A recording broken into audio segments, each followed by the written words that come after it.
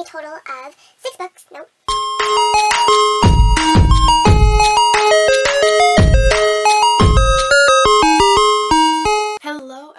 It's your girl Jay and today I am here with my first most anticipated releases of the year video. I have a total of five books that are releasing in January 2020 that I'm excited about. As always, I tried to pick books that aren't super duper popular because nobody got time to watch the same videos over and over again that just talk about the exact same books over and over again. So without further ado, let us get started.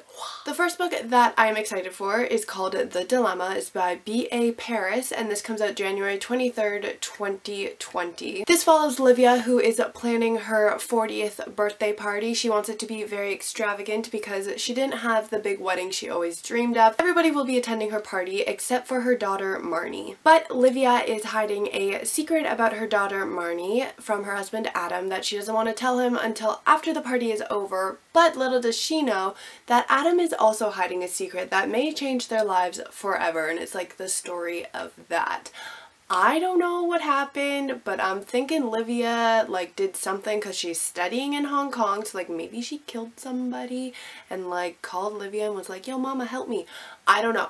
Or maybe like Adam's having an affair. I don't know. I'm just, I'm excited. I want to know what happened. I've read a couple of B.A. Paris's books and I either give them like a 3, 3.54, so I'm excited for this one. The next book I have on my list is called The Lookalike and it is by Erika Spindler. This is to be released January 28th, 2020. This book follows Sienna Scott who has grown up with her mother's paranoid delusions. After her mother's murder, she returns to her childhood home to confront her past. As strange things begin to occur around the house, Sienna starts to believe that she may have been the original target of her mother's murderer and that they will stop at nothing until they right their mistake and it's like the story of that. So I'm thinking it's like she doesn't know her delusions from reality, that kind of story, or maybe there actually is a murderer. I guess we'll find out when we read it, but I'm intrigued. The next book on my list is called Lie to Me. This is by Kaitlin Ward. This is to be released January 7th, 2020. And this follows a girl named Amelia who wakes up in a hospital bed and is unable to remember anything. Her friends and family tell her that she almost died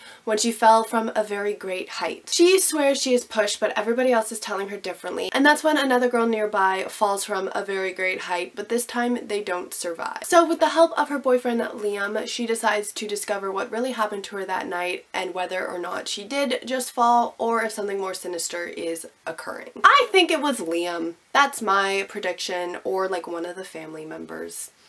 But I'm gonna say Liam because it's always the boyfriend. The next book on my list is called If She Were Dead and this is by J.P. Smith and this is also to be released January 7th, 2020. This book follows Emile and Janet. Both are in love with the same man, Janet's husband. Emile decides to start an affair with Janet's husband but that's not good enough for her and it's basically the story of what Emile will do for love and I'm guessing it's like a whole thing where she's deciding whether or not to kill Janet for the husband. I mean, the title is If She Were Dead, so maybe it's just like a bunch of scenarios where she's like killing off Janet so that she can live her life.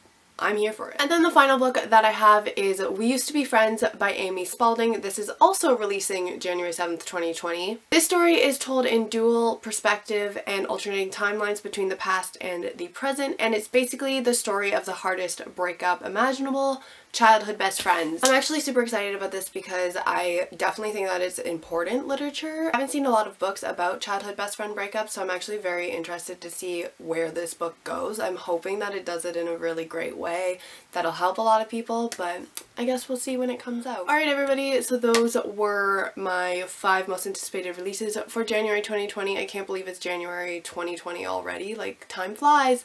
Let me know down below if you guys are planning on reading any of these books or if by the time you see this video you have read some of these books and let me know how they were and I'll see you all in my next video. Goodbye!